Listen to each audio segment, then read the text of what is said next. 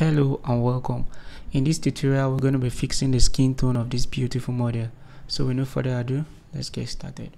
So you come to the adjustment layer and select the hue saturation adjustment layer. Uh, using the hand icon here you target the skin tone by clicking on it uh, on the hue slider. Or move it to the left. Uh, if you move it to the right the skin even gets more greenish. So you move it to the right towards the magenta uh, gradually. Watch the skin. Uh, if it's too magentaish you return your slider.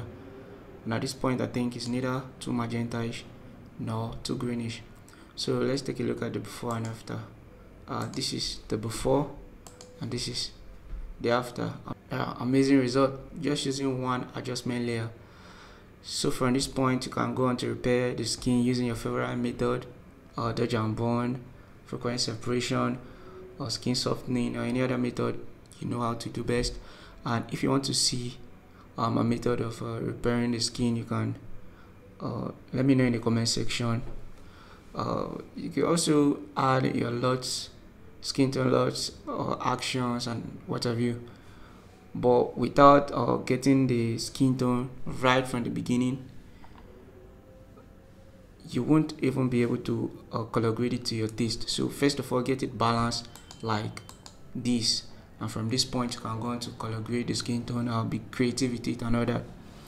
Uh, if you haven't subscribed to this channel already make sure you subscribe and hit the notification button.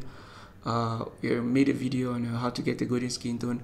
We also give a free uh, skin uh, skin tone preset on that a camera preset so you can just check out that video link in the description. Uh, try to follow us on instagram link in the description.